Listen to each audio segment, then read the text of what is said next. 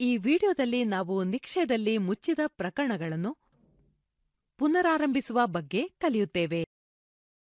ಇಲ್ಲಿ ಮೊದಲ ಹೆಜ್ಜೆ ನಿಕ್ಷಯ ಪೋರ್ಟಲ್ಗೆ ಲಾಗಿನ್ ಆಗುವುದು.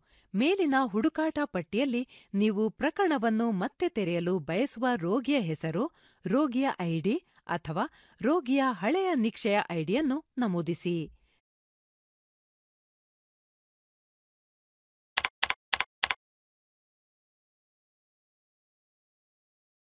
ಹುಡುಕಾಟ ಪಟ್ಟಿಯ ಕೆಳಗೆ ರೋಗಿಗಳ ಹೆಸರನ್ನು ನಿಮಗೆ ನೀಡಲಾಗುವುದು. ಅದರ ಮೇಲೆ ಕ್ಲಿಕ್ ಮಾಡಿ.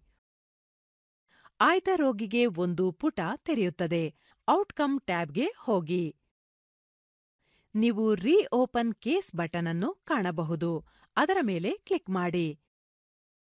ಮುಂದೆ ನೀವು ರೋಗಿಗೆ ನಿರೀಕ್ಷಿತ ಅಂತಿಮ ದಿನಾಂಕವನ್ನು ಒದಗಿಸಬೇಕು.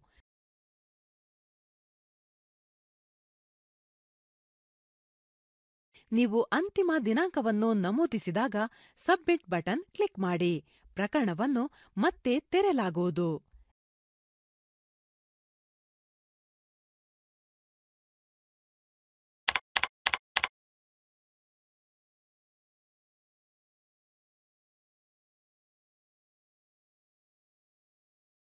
click here to reinitiate a case on new episode ಎಂದು ಲೇಬಲ್ ಮಾಡಿದ ಬಟನ್ ಕ್ಲಿಕ್ ಮಾಡುವುದರ ಮೂಲಕ ಪ್ರಕರಣವನ್ನು ಪುನರಾರಂಭಿಸುವ ಇನ್ನೊಂದು ಮಾರ್ಗವಾಗಿದೆ.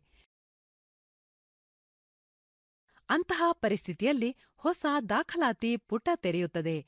ದಾಖಲಾತಿ ಪ್ರಕ್ರಿಯೆಯನ್ನು ಪೂರ್ಣಗೊಳಿಸಲು ನೀವು ರೋಗಿಯ ಪ್ರಕಾರ ಮೂಲ ವಿವರಗಳು, ವಾಸದ ವಿವರಗಳು, ಜನಸಂಖ್ಯಾ ವಿವರಗಳು ಮತ್ತು ವ್ಯಕ್ತಿಯ ವಿವರಗಳನ್ನು ತುಂಬಬೇಕು.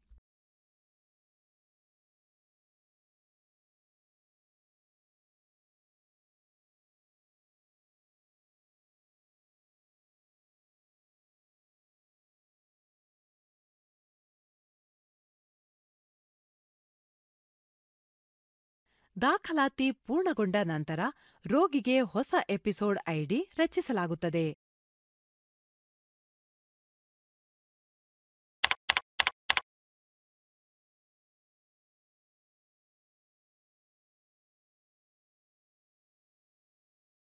ದಾಖಲಾತಿ ಪೂರ್ಣಗೊಂಡ ನಂತರ ರೋಗಿಗೆ ಹೊಸ ಎಪಿಸೋಡ್ ಐಡಿ ರಚಿಸಲಾಗುತ್ತದೆ. ಈಗ ನೀವು ಮತ್ತೆ ಅದೇ ರೋಗಿಯನ್ನು ಹುಡುಕಿದಾಗ ಅದರಲ್ಲಿ ಎರಡು ಕಂತುಗಳಿವೆ ಎಂದು ನೀವು ಕಾಣಬಹುದು. ಎಪಿಸೋಡ್ ಅನ್ನು ಆಯ್ಕೆ ಮಾಡಲು ಇತರ ಎಪಿಸೋಡ್ಗಾಗಿ ಡ್ರಾಪ್ ಡೌನ್ ಕ್ಲಿಕ್ ಮಾಡಿ. ರೋಗಿಗೆ ಅನೇಕ ಕಂತುಗಳನ್ನು ಸೇರಿಸಲು ಪುನಶ್ಚೈತನ್ಯಗೊಳಿಸುವ ವೈಶಿಷ್ಟ್ಯವು ಅನುಮತಿಸುತ್ತದೆ.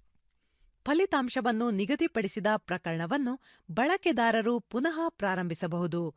ಈ ಆಯ್ಕೆಯನ್ನು ಬಳಸಿಕೊಂಡು ನಾವು ಒಂದೇ ರೋಗಿಗೆ ದಾಖಲಾತಿ ವಿವರಗಳನ್ನು ಉಳಿಸಿಕೊಳ್ಳಬಹುದು ಮತ್ತು ರೋಗಿಯ ನಿರ್ವಹಣಾ ಪುಟದಲ್ಲಿ ಅದೇ ರೋಗಿಗೆ ಹಿಂದಿನ ಕಂತುಗಳನ್ನು ವೀಕ್ಷಿಸಬಹುದು. ನಿಕ್ಷಯ ಪೋರ್ಟಲ್ನಲ್ಲಿ ನೀವು ಈ ರೀತಿಯಾಗಿ ಪ್ರಕರಣವನ್ನು ಪುನರಾರಂಭಿಸಬಹುದು.